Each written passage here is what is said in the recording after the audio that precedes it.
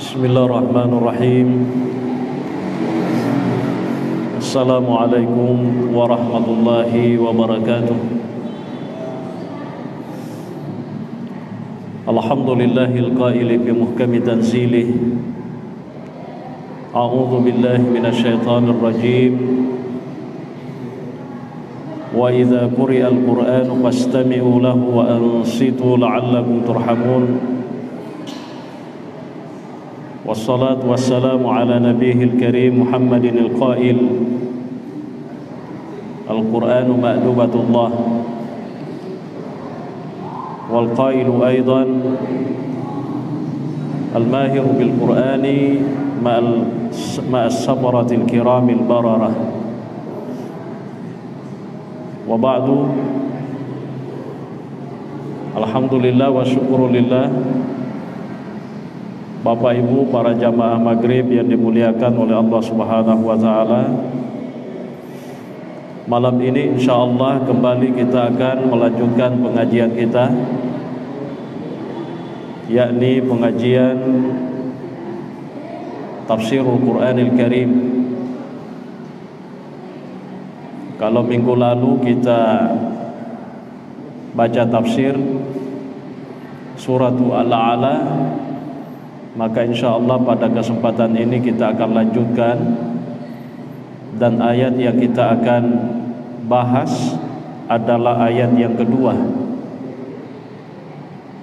Sabbihisma rabbika la'ala itu kita sudah jelaskan seperti apa penjelasannya para ulama kita apa kelebihannya dan apa yang biasanya dibaca ketika kita sudah membaca Sabbihisma rabbikal a'la. Kita sudah jelaskan alhamdulillah. Lalu kemudian Allah berfirman Qala ta'ala Alladhi khalaqa fasawwa Sabbihisma rabbikal a'la Alladhi khalaqa fasawwa ya. alladzi khalaqa fasawwa dialah Allah yang menciptakan. Apa yang diciptakan? Segala sesuatunya. Khaliqu kulli syai. Allah pencipta segala sesuatu. Termasuk kita manusia ini dan ketika Allah menciptakan makhluk-makhluknya termasuk manusia pasawwa. Tidak hanya menciptakan begitu saja tetapi pasawwa.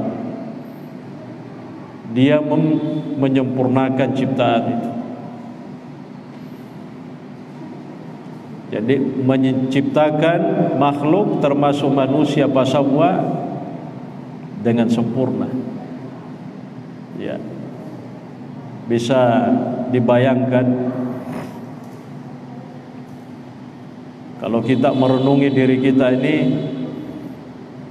betapa luar biasanya kita ini sebagai makhluk ciptaan Allah yang sangat dimuliakan.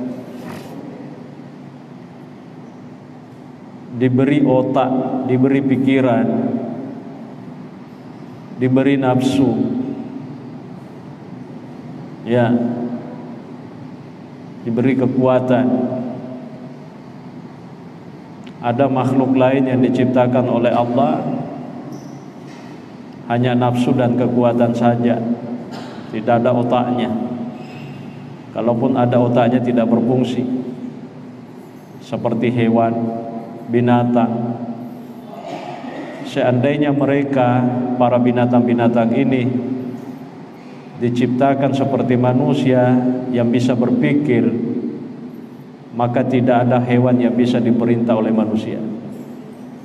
Apalagi hewan yang lebih besar postur tubuhnya daripada manusia. Siapa yang bisa memerintah gajah? Siapa yang sanggup memerintah kuda? Ya postur tubuhnya lebih besar. Siapa yang bisa memerintah sapi, onta. Tapi karena ada sesuatu yang tidak dititipkan oleh Allah dalam makhluk ini beda dengan kita manusia. Maka kita manusia begitu disempurnakan tidak hanya dari sisi poster tubuh kita tetapi juga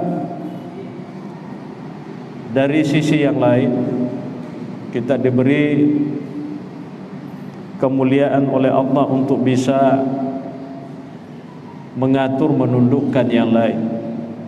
Ya. Kenapa? Khalaqa fasawwa karena Allah ketika menciptakan makhluk pasti dia menyempurnakan makhluk itu. Ya.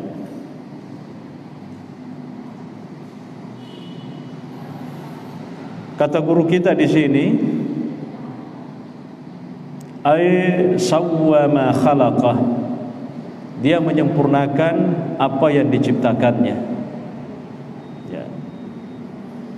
Falam yakun fi khalqihi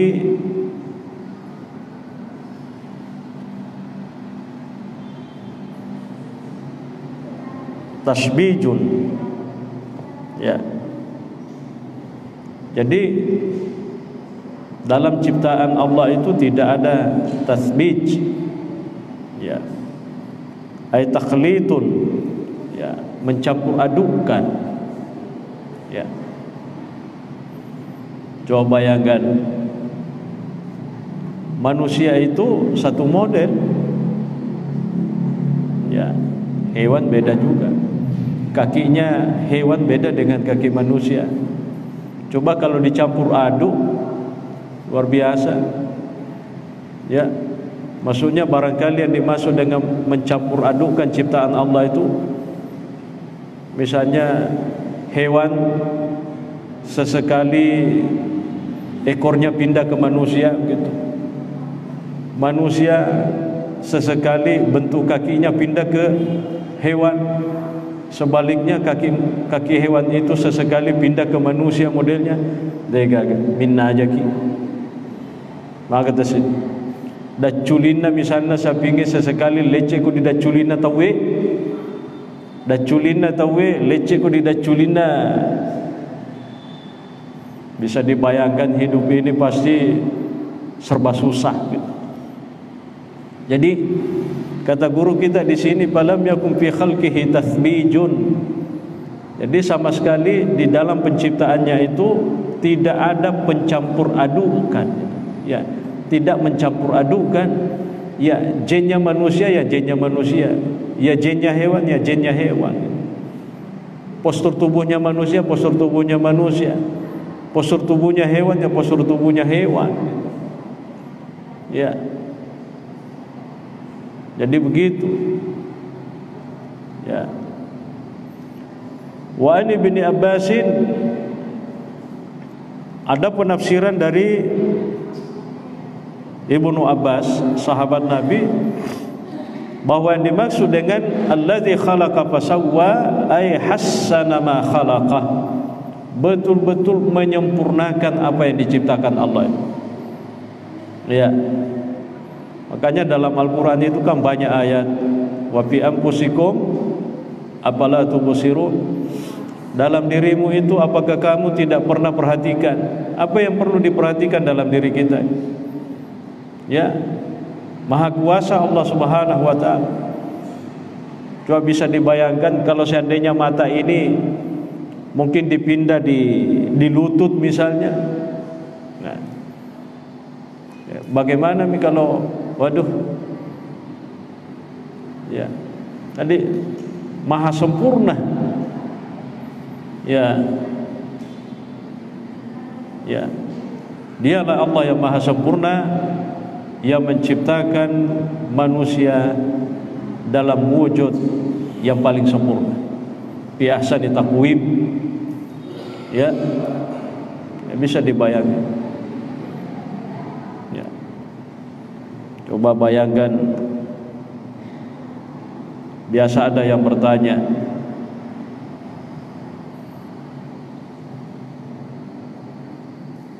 Kenapa orang-orang Arab itu laki-lakinya pada rata-rata ada jenggotnya?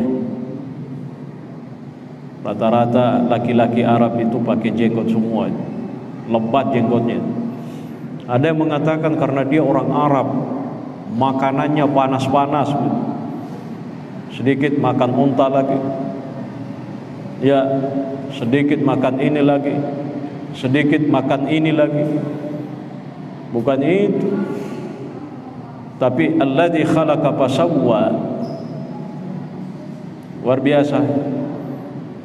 Seandainya faktor makanan yang membuat orang berjenggot maka pasti orang Arab laki perempuan berjenggot semua.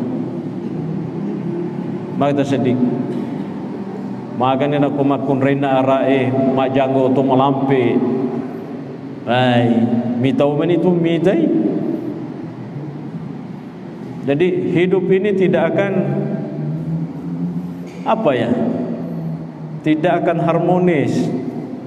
Tidak akan menarik kalau semuanya serba sama begitu. Tapi Allah Maha Kuasa, yang namanya perempuan mau tinggal di mana, mau di Arab, mau di mana, mau di mana, jelas tidak pakai jenggot. Ya. Tapi kalau laki-laki, nah, jenggot.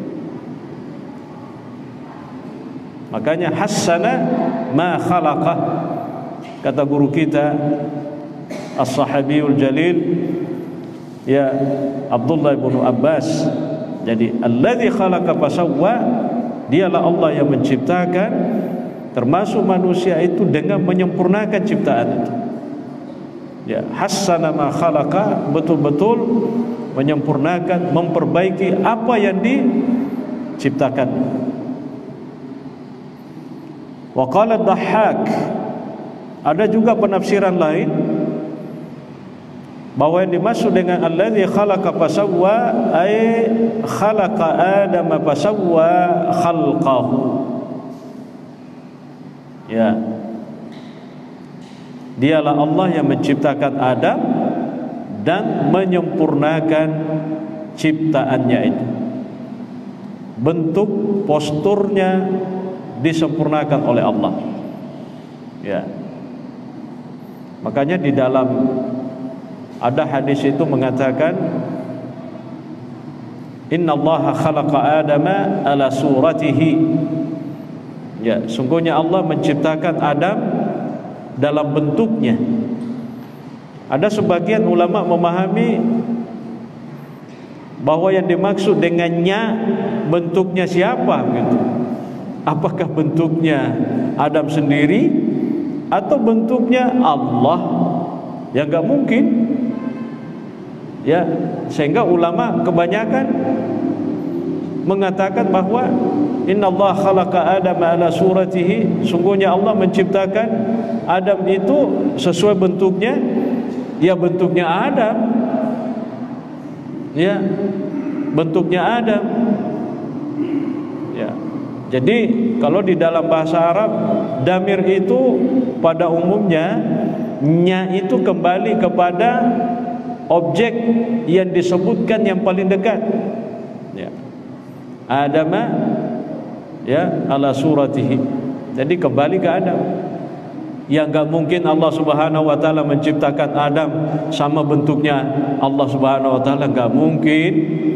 Laisa kamitslihi syai'un Laisa kamitslihi syai'un wa huwas samiul basir. Tak mungkin Allah itu ada samanya. Enggak mungkin. Lah bagaimana mungkin Allah itu bisa sama dengan makhluknya? Satu makhluk satu khalik ya enggak mungkin lah. Ya enggak mungkin ah, pemahaman kita orang-orang Islam tidak boleh ada musyabbih ada tasbih ingin menyerupakan Allah dengan makhluk. Oh kira-kira Allah itu modelnya seperti ini. Mirip-mirip ini ya nggak bisa. Ya. Makanya ulama itu mengatakan kullu ma khatara fi qalbika atau fi balika walaysa huwa Allah. Segala sesuatu yang terlintas dalam pikiran manusia yang terpikir oleh manusia bukan Tuhan bukan Tuhan. Ya jadi semua yang terbetik di dalam pikiran kita Itu bukan Tuhan. Karena sesuatu yang terbetik bisa digambarkan. Sesuatu yang terbetik dikhayalkan bisa diwujudkan, diserupakan dan Allah munassahun an kulli. Allah tidak mungkin ya suci dari semua itu. Ya.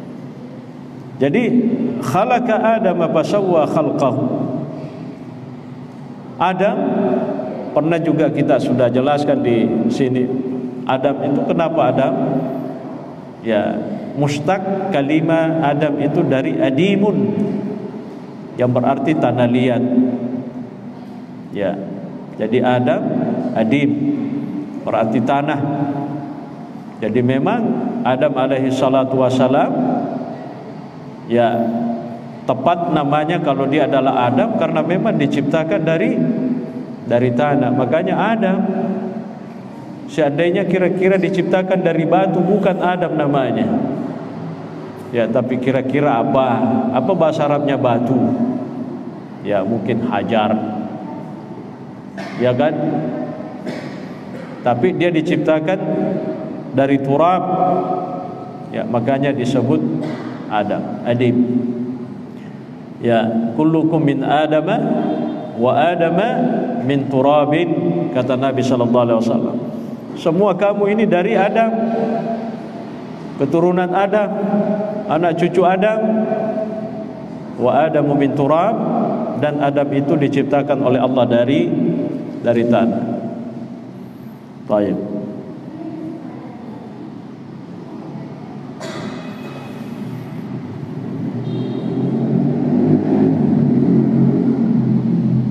Wakila. Khalaqa fi aslabil abai wa sawwa fi arhamil ummahat. Jadi alladhi khalaqa fasawwa sebahagian lagi ulama mengatakan khalaqa fi ashabi aslabil aba wa sawwa fi arhamil ummahat. Ya. Allah menciptakan makhluk manusia itu dari aslabil aba. Ya tulang rusuknya para orang tua ya. Wasawwa fi arhamil ummahat dan menyempurnakannya di dalam rahim para ibu. Ya. Rahim. Ya. Ada sebagian ulama mengatakan kenapa rahim ibu disebut rahim ada rasa ada rasa kasih sayang. Mustakka mustak dari kalimat rahima yarhamu. Ya menyayangi. Karena ketika seorang bayi dikandung begitu sayangnya ya ibunya mungkin kepanasan tapi anaknya yang ada di dalam enak-enak saja. Ya ibunya mungkin sedang kecapean tapi anaknya tetap enak saja di dalam. Ibunya mungkin kedinginan anaknya tetap saja enak di dalam. Rahim. Ya. Dan itu salah satu sifat sifatnya Allah ya. Atau namanya Allah. Ya tergantung ada perselisihan di kalangan ulama. Ada itu miniatur surga. Ya. Karena kita ini kalau dalam bahasa Al-Quran ya kita ini dikeluarkan dari perut seorang ibu dan dalam keadaan tidak tahu menahu sama sekali. Walladzi akhrajakum min butuni ummahatikum la ta'lamuna syai'a. Dialah Allah yang mengeluarkan dari perut ibumu sekalian dalam keadaan sama sekali kamu tidak tahu apa-apa. Dada. Kita tidak tahu apa-apa.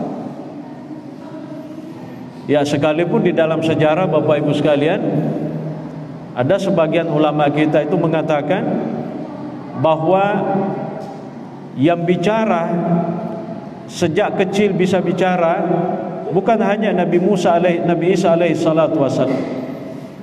Ya kan Nabi Isa itu kan masa kecilnya masa bayi dia bicara kan? Ya kan? Ya. Ya. Itu di dalam surah Maryam direkam oleh Allah. Ya. Dan ternyata Isa yang masih bayi itu diberi kekuatan oleh Allah untuk uh, bisa bicara. Ya. Yang kedua ada yang bisa bicara. Ada kisah yang lain. Jadi ada seorang abid, seorang ahli ibadah namanya Juraij. Namanya Juraij Nah, ini Juraij ini ahli ibadah. Ya, pokoknya dia ibadah saleh luar biasa.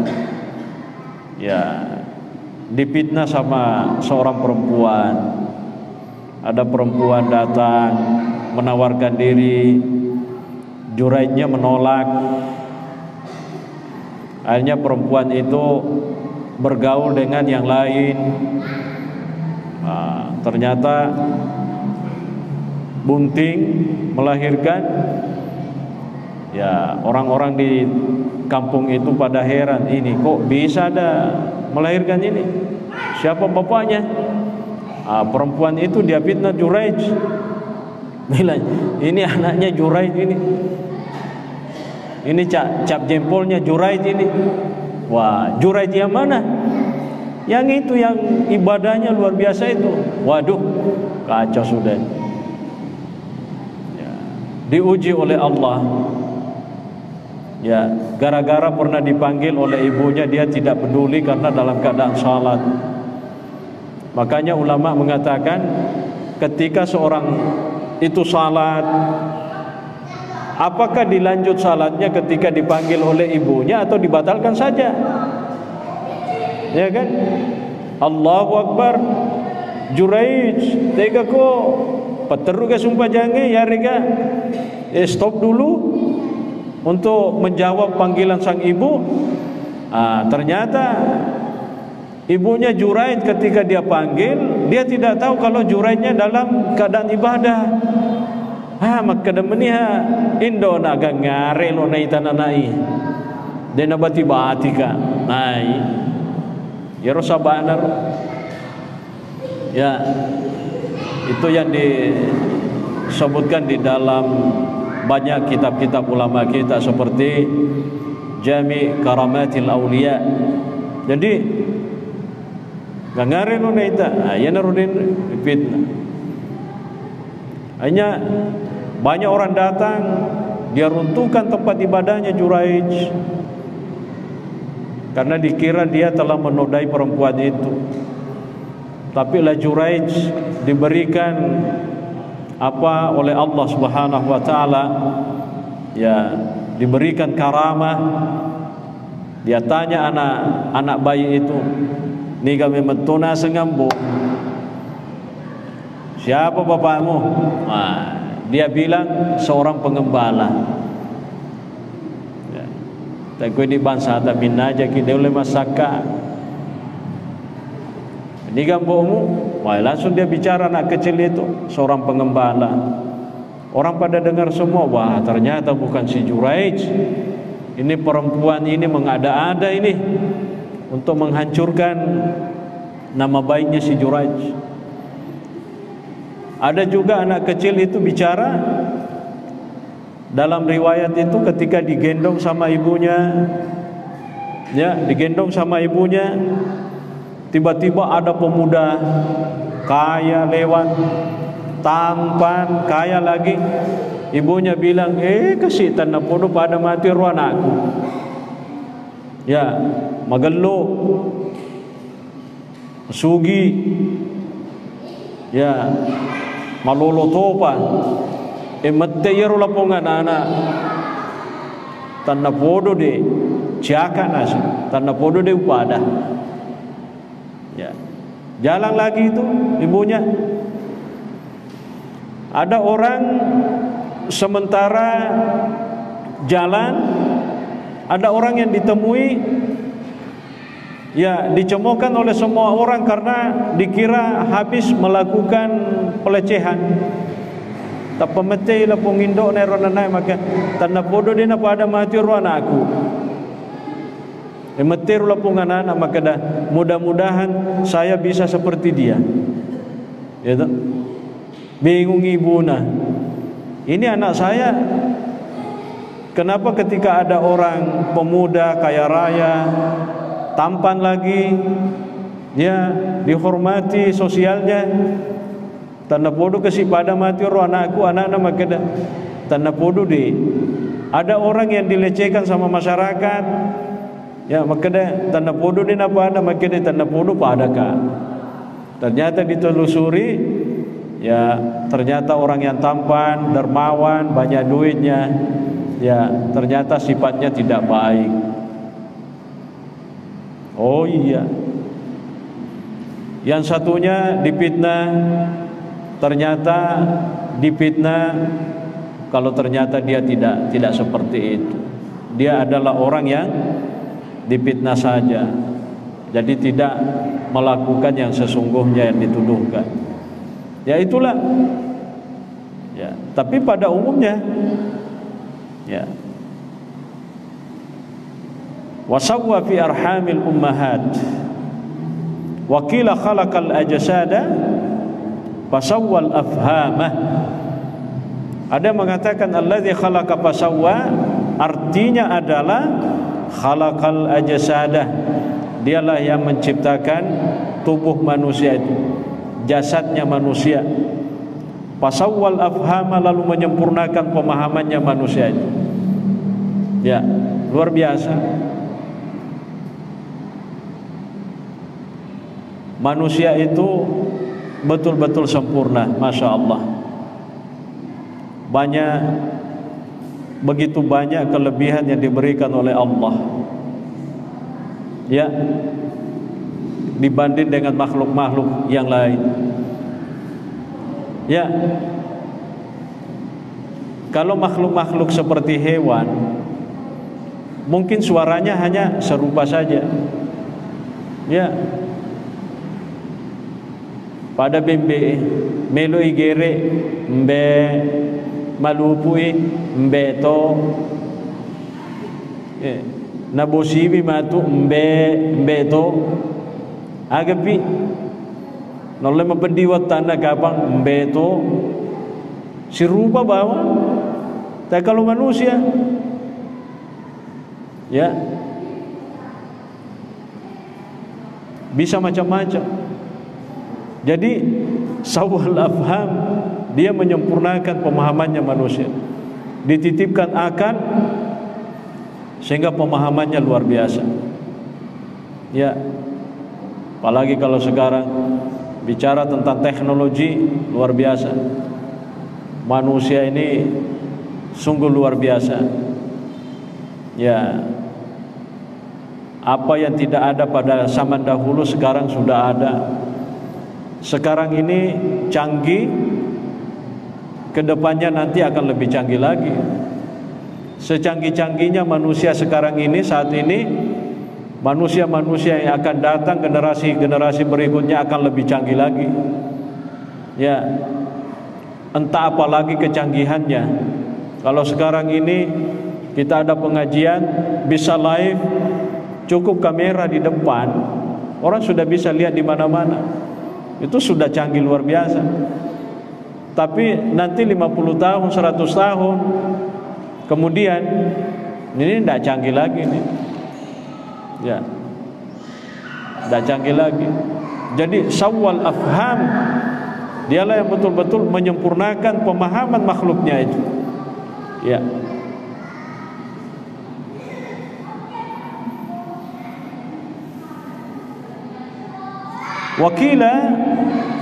Khalaqal insana wa hayya'ahu litaklifi.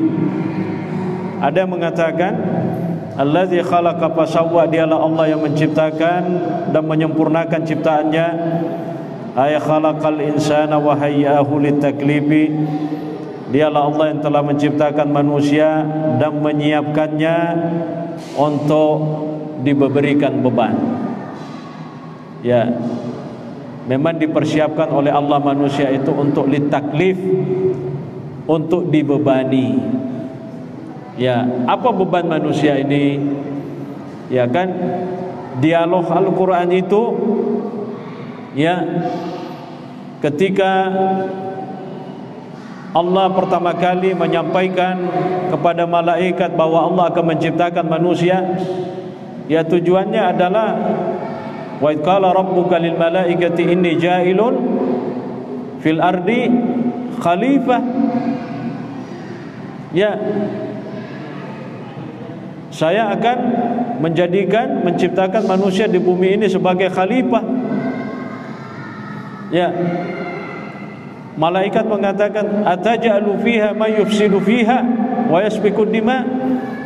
Apakah engkau hendak menciptakan manusia ya Allah yang akan melakukan perusakan dan pertumpahan darah? Ya. Tapi apa kata Allah? Inni a'lamu ma la ta'lamun. Aku ini lebih tahu apa yang kamu tidak tahu wahai malaikat. Jadi sebenarnya Misi utama penciptaan manusia selain daripada untuk beribadah adalah untuk ya mengatur bumi ini, memakmurkan bumi ini. Ya. Memakmurkan bumi ini, menghidupkan bumi ini, merawat bumi ini, ya, tidak melakukan perusakan dan seterusnya. Ya.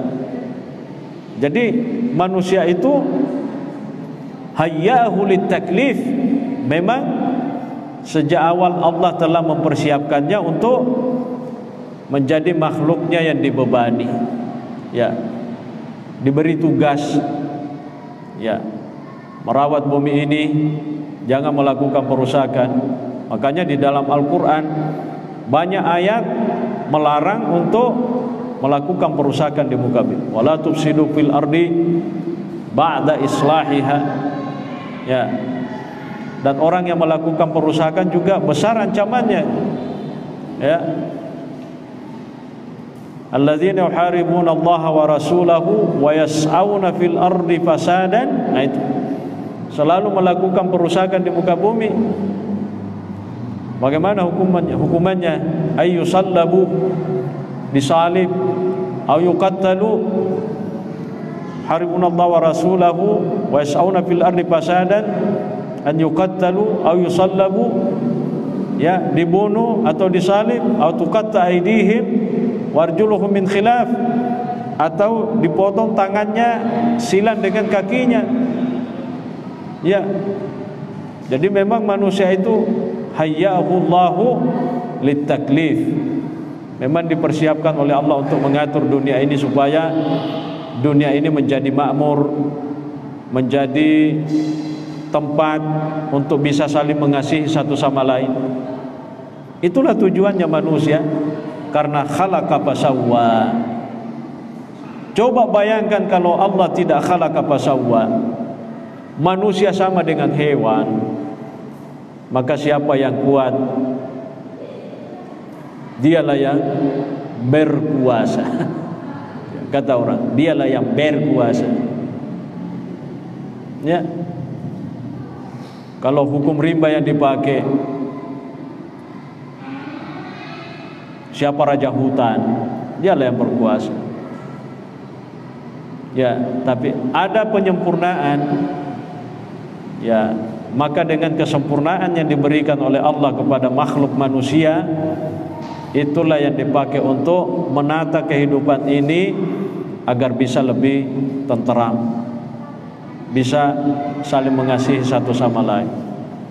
Ya, itulah makna daripada alladzi khalaqa fasawwa. Sungguh luar biasa.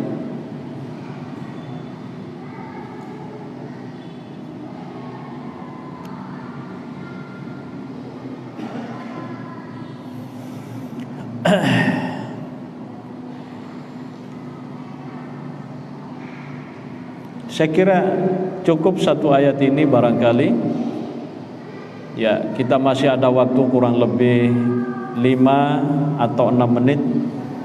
Siapa tahu ada yang uh, mau bertanya, kita beri kesempatan. Silakan.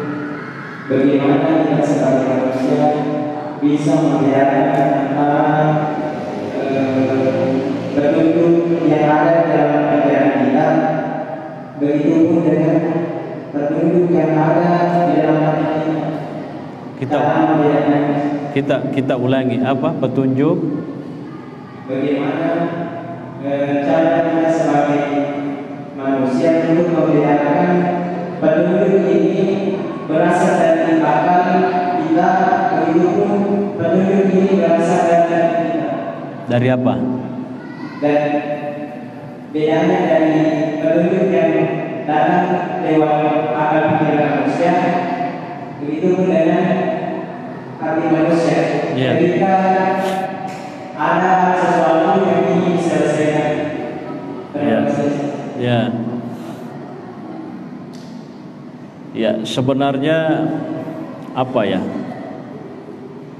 Pada dasarnya kan ya namanya suara hati dengan pikiran itu tidak pernah kontradiktif sebenarnya. Ya, tidak pernah kontradiktif. Hati itu selalu punya kecenderungan kepada kebajikan.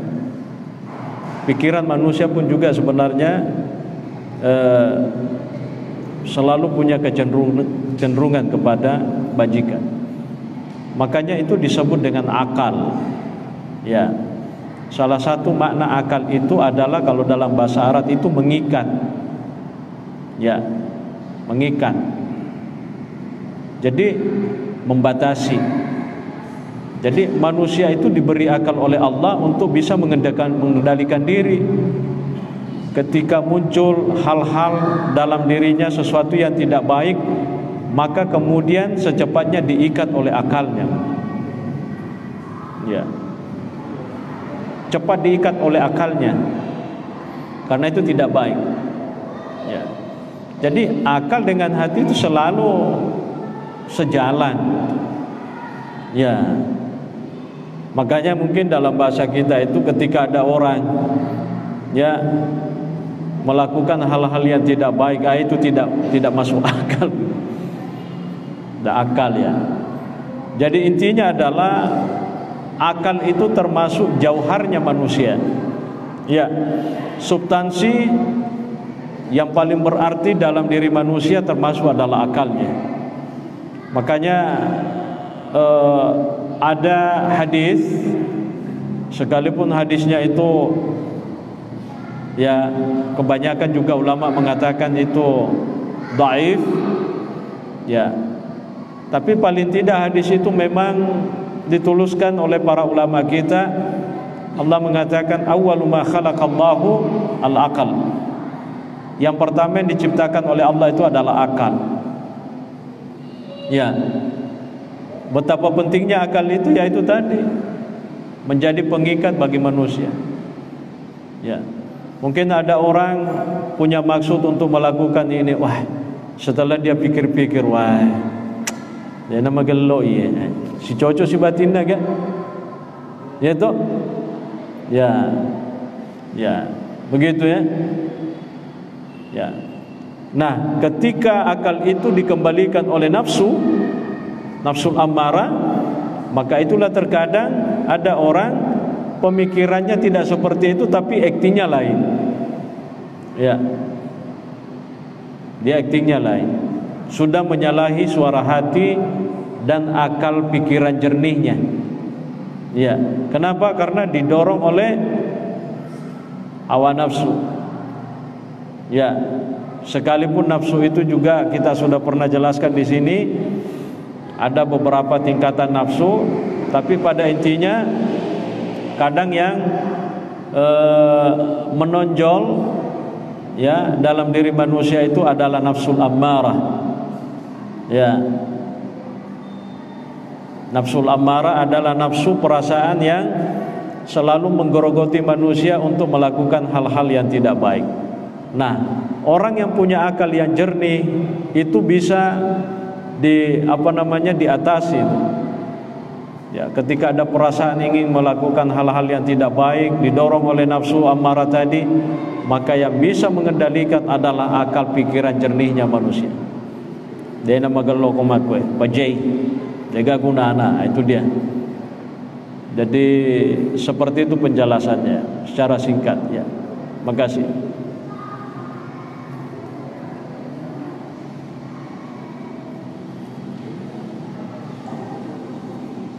Terima kasih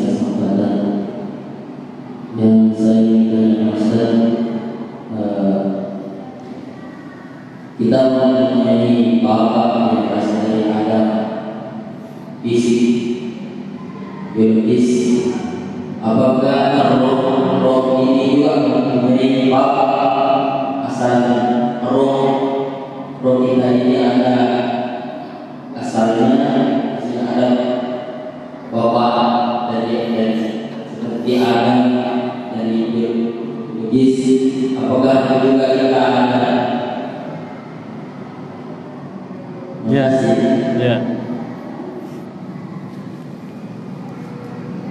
itu adalah bapaknya manusia ya.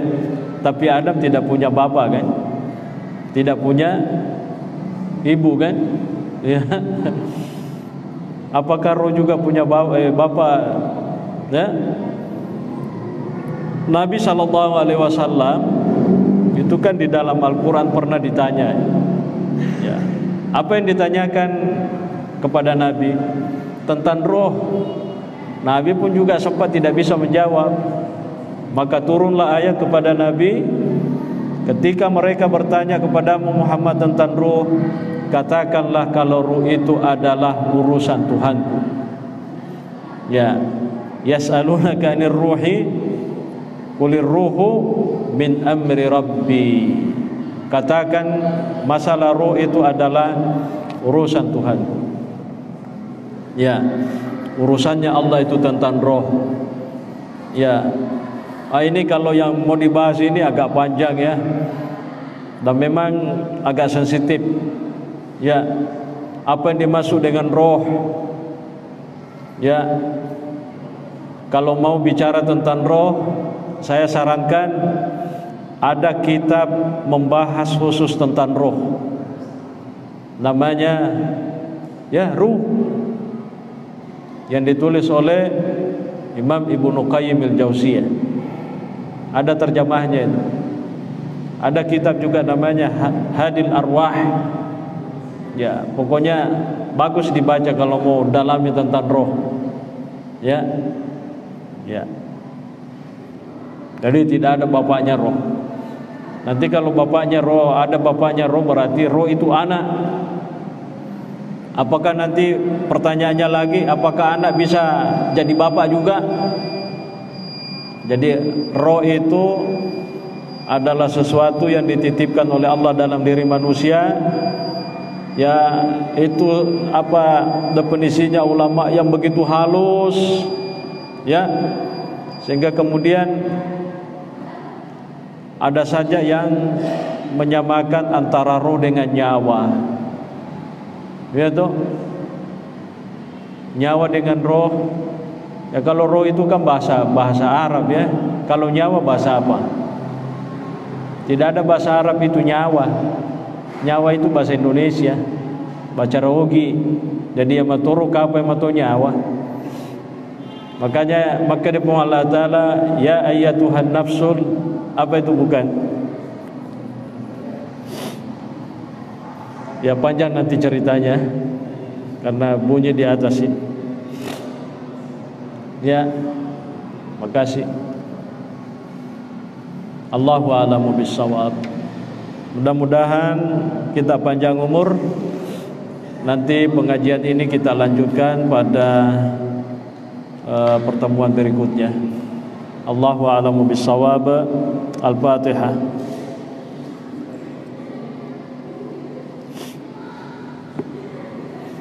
السلام عليكم ورحمة الله وبركاته.